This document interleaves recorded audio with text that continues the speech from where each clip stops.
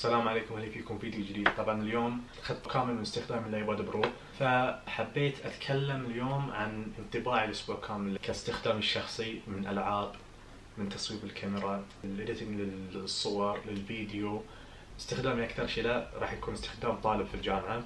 هل هو آه، يغنيك عن اللابتوب ولا ما يغنيك؟ كلابتوب عادي من الويندوز أو الماك طيب نتكلم الحين معكم عن أداء الجهاز بال hardware الداخل أتوقع مش الكل راح يهتم لل hardware. أكثر الأشخاص اللي يستخدمون ابل ما يحبون الأرقام وال hardware والأشياء دي يحبون الأداء يحبون استخدام الجهاز ويحسون بسرعة استخدامه بدون ما يتكلمون عن ارقام مثل الأندرويد. لكن بتكلم معكم عن الأشياء الخفيفة من ال hardware. الأيباد يجي بالمعالج الجديد A12X طبعا هو ال A12X أقوى من بعض حتى لابتوبات ال i7 في الكمبيوترات حتى من الماك بوك برو اللي هو من صناعة آبل برضو هذا أقوى من هذا يدل أن المعالج هذا آبل صنعته خصيصا للآيباد فما راح يكون موجود على أي جهاز ثاني حتى من آبل لا الآيفون ولا غيره فقط للآيباد. هو نفسه نفس ال A10X كان في الآيباد اللي قبله فآبل تصنع المعالجات مثل ال A12 حطته في الآيفون 10 S A12X حطته في الآيباد. فمن كذا راح يكون الآيباد آه، اداءه قوي ليش؟ لأن الجهاز مثل ما قلت لكم المعالج مصنوع خصيصا هذا الجهاز. مش نفس آه، معالجات انتل موجودة في أغلب الكمبيوترات. تكون انتل مصنع المعالج وشركات ثانية HP ودل وسامسونج برضو ابل في لابتوباتها. تاخذ المعالج تحطه في اللابتوب. لكن هذا المعالج في أجهزة ابل لا. ابل صانع المعالج خصيصا للجهاز هذا. 100% راح يكون أفضل من المعالجات الثانية وبرضو من الأجهزة الثانية. برضو تقدر تقيس هذا الشيء على الأجهزة الأندرويد اللي ياخذون أكثر معالجاتهم من كوالكوم. أكثر شركات الأندرويد تأخذ معالجاتها من كوالكوم وتحطها في جهازها فيكون المعالج نفسه مش مصنوع للجهاز حقه. فمن كذا تشوف الأداء يختلف. مش نفس أجهزة ابل الآيفون أو الآيباد أو ساعه ابل أو أي جهاز ثاني. ابل لا تصنع المعالج حقها. من الصفر خصيصا للجهاز فراح يكون المعالج أفضل. في شركات ثانية من في الأندرويد مثل سامسونج أو هواوي لا تصنع معالجات خاصة على حسب الشركة. نتكلم عن مدخل الشاحن مثل ما تشوفون اللي هو USB Type-C تكلمت عن في المقطع القديم مراجعة الآيباد. أول ما جبته وركبت كذا مدخل فيه. ركبت فيه ال keyboard. يشتغل فيه أي keyboard تركب فيه. وبرضه تقدر تشحن الآيفون بالآيباد أو تشحن آيباد ثاني أو ساعة أبل. أي جهاز تقدر تركبه في ال USB Type-C تقدر تشحنه. هذا الشيء فادني كثير. كذا مرة طلعت برا وايفوني آه، خلص ال battery. شحنت الآيفون عن طريق الآيباد. طبعا هون بنتكلم عن الكاميرا الكاميرا الأمامية هي 7 ميجا بكسل والكاميرا الخلفية 12 ميجا بكسل الكاميرا ممتازة. التصوير طبعا الكاميرا نفسها نفس كاميرا الآيفون 10S وال 10S Max وال 10R الكاميرا الرئيسية. كبداية قلت ما أدري ليش أبل حطتها في الآيباد لأن صدق يعني جهاز كبير كيف إيش تحتاج فيه. احتجت كذا مرة إني أصور. أنا طبعا استخدم الآيباد في ال note للمذاكرة في الآيباد.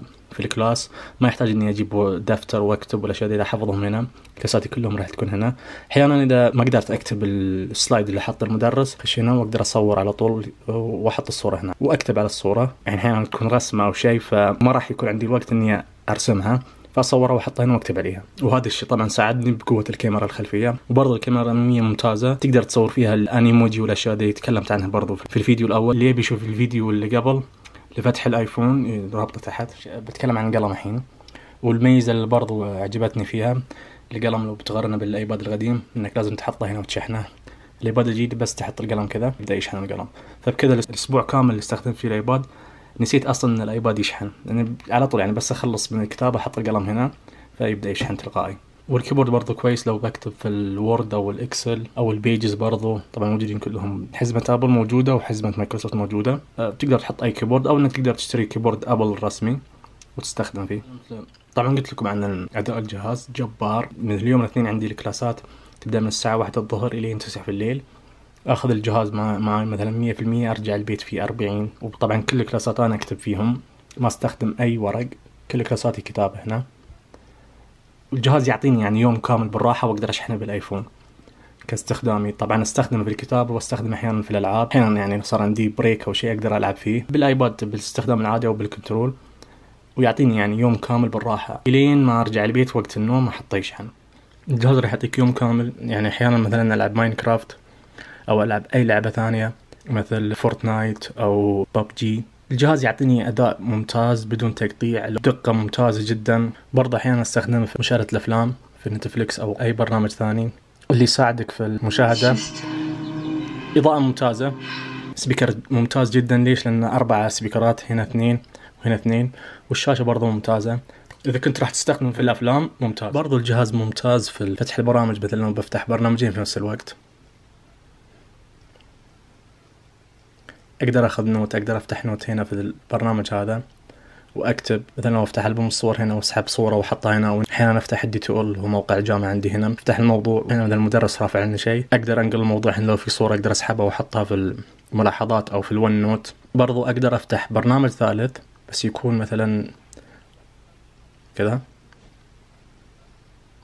راح يكون فتح الحين ثلاث برامج. برنامج الكتابة هنا. أو إني في مكالمات فيديو فاتح برنامجين في نفس الوقت. أقدر أتنقل بين البرنامج هذا ودي أي جهة. كذا فتحت ثلاث برامج. أقدر برضو أفتح فيديو مثلا فيلم وأنا أكتب شيء أو إني أخذ ملاحظة من الفيلم.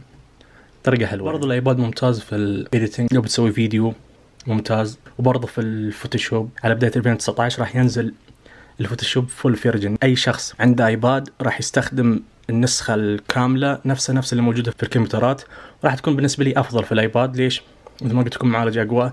برضو إنك تعدل على الصورة أو ترسم صورة بقلم راح تكون أفضل من إنك تستخدم الماوس. واللي يتكلمون برضو اللي يبون ال AutoCAD ال AutoCAD موجود في الآيباد. تقدر تستخدمه بالنسخة الكاملة. طبعا قبل ثلاث أيام تقريبا استخدمته في الكتابة وفي الألعاب في نفس الوقت. كتبت كذا موضوع شفت تقريبا فيلم ولعبت ألعاب أعطاني تقريبا ثمان ساعات في ال... بالأشياء ذي كلها. طيب نجي للسؤال هل الآيباد يغني عن الكمبيوتر؟ الآيباد لو إنك تتكلم عن أبل أبل قالت لك إن الآيباد هو كمبيوتر بس مش كمبيوتر في نفس الوقت. لو بنشوف الفيديو الحين هذا اللي موجود عندكم تشوفون ستيف جوبز؟ أول ما أعلن عن أول آيباد راح سوى مسافة بين الكمبيوتر والآيفون وقال إنه في gap في الوسط. نحط جهاز يكون بين الجهازين هو بين الآيفون وبين الكمبيوتر وطلع الآيباد. فالآيباد راح يكون في النص له كمبيوتر وله جوال. بعض الأشخاص راح يغنيهم عن الكمبيوتر. وبعض الأشخاص أصلا حتى الآيفون مغنيهم عن الكمبيوتر. بعض الأشخاص مثلا اللي يبي الكمبيوتر بس في الإيميل بعض الأشخاص أصلا ما استخدم كمبيوتر من حياته كلها. فبعضهم يقول لك الجوال حقي يغنيني عن الكمبيوتر وبعضهم لا يقول لك أنا آه، الجوال حقي ما يغنيني أبي شاشة كبيرة في مشاهده الأفلام فالآيباد برضو يغني بعض الأشخاص مثل أنا ما راح يغنيني الآيباد عن الكمبيوتر. الآيباد استخدامه للدراسه الكمبيوتر استخدامي في الأشياء الثقيلة مثل Final Cut والأشياء اللي مثل ما تقولون قوية في ال editing طبعا الإيباد ما أقول لكم مش قوي لا الإيباد قوي لكن بعض البرامج ما تكون موجودة في الإيباد. مثل ال OrCAD Capture أو الأشياء الثانية اللي تخصص حقي مش موجودة في الإيباد وبرضه مش موجودة في الماك. فاضطريت إني أستخدم كمبيوتر ويندوز علشان أستخدم هذه البرامج. فلما قلت لكم الجهاز إذا الشخص يستخدم الكمبيوتر حقه في بس الإيميل أو مشاهدة الأفلام أو اللعب أو تصوير الصور والتعديل على الفيديوهات الخفيفة الإيباد يكفي. كطالب جامعة ككتابة وتصفح وكتابة بحوث أو ال AutoCAD أو الكتابة مثلا في ال OneNote مثل ما نستخدم كتابة في ال Word وال Excel وال PowerPoint وال Photoshop بما أنه نهاية السنة راح ينزل أو بداية السنة الجديدة. إذا كنت تستخدم هذه الأشياء راح يكفيك الأيباد وزيادة. راح أتكلم الحين عن الفئة من المجتمع للآيباد ما راح يغنيهم عن استخدام الكمبيوتر وبرضو راح تكون سلبيات للآيباد. أول حاجة النظام قد ما أبل تطوره النظام اللي موجود في الآيباد هو نظام ال iOS فللأسف لازم أبل تطور النظام أبل عندها نظامين. نظام الكمبيوترات ال macOS تقدر تستخدم الماوس فيه وما تقدر تستخدم touch. وال iOS أبل مخليتها إنك تستخدم فيه touch ما تستخدم فيه ماوس. فتوقع مستحيل أبل تخلي ال iOS بال mouse. وبرضه ال hard disk إنك ما تقدر تركب هارد ديسك. أتوقع إن أبل راح تحط الميزة في في المستقبل بما إن ال file هنا اللي يستخدم كمبيوترات أبل Finder هو جهاز الكمبيوتر في الماك. إنك تحط مثلا فلاش أو أي شيء راح تشوفه هنا. فأتوقع إن ال Finder راح يتحدث في المستقبل إنك تحط فلاش يطلع لك هنا مثلا في الجنب. تتصفح الفلاش في النهايه راح نتكلم الحين عن إيجابية النظام. أول حاجة إيجابية في الجهاز إن ال ecosystem مثلا الأسماء حقتي اللي في الآيفون هي موجودة برضو نفسها في الآيباد. أي شيء حطه في الآيفون يجي عندي في الآيباد. الملاحظات حقتي اللي في الآيفون نفسها في الآيباد. لو أكتب هنا ملاحظة راح تجيني هنا. أرقامي السرية في المتصفحات في سفاري في غيرها تكون موجودة. برضو لو جوالي طافي أقدر أكلم هنا بالآيباد.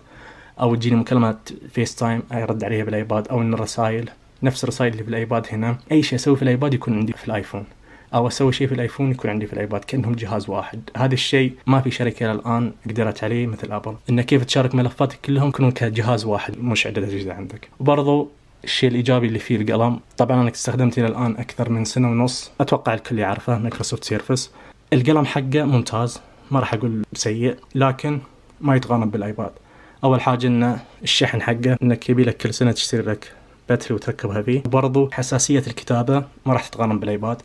استخدمت الآيباد أسبوع واستخدمت هذا سنة ونص. الآيباد بالنسبة لي أفضل في الحساسية وفي الكتابة في الاستجابة في القلم. وبرضو الشيء اللي خلى الآيباد إلى الآن هو أفضل تابلت البرامج. يعني في الأندرويد نزل كذا تابلت وما قدر يوصل قوة الآيباد. ليش؟ لأن أكثر برامج الأندرويد هي مصنوعة للجوال لكن إذا فتحتها في التابلت يكون شكلها قبيح ان البرنامج أصلا مصنوع للجوال.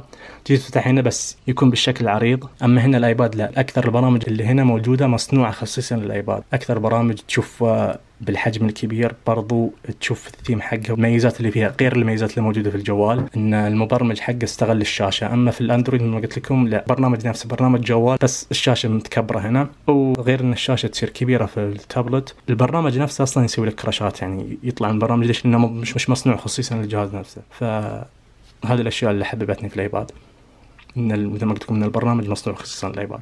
وبس هذه الأشياء اللي لاحظتها الأسبوع هذا في استخدام الايباد فأتوقع الكل الحين عرف ميزات الإيباد وسلبياته. والإيباد مصنوع لأي فئة للناس فإذا عجبكم الفيديو لا تنسوا الاشتراك في القناة. ونشر المقطع وعمل like المقطع وتعليقاتكم تحت تهمني وانشروا المقطع قد ما تقدرون. وانشروا المقطع في الواتساب في التويتر في أي مكان. أي تعليقات تحت آه، أنا راح أرد عليها. أو إن إذا كانت تعليقات كثيرة راح أعمل فيديو ثاني للاجابه عن أسئلتكم. والسلام عليكم.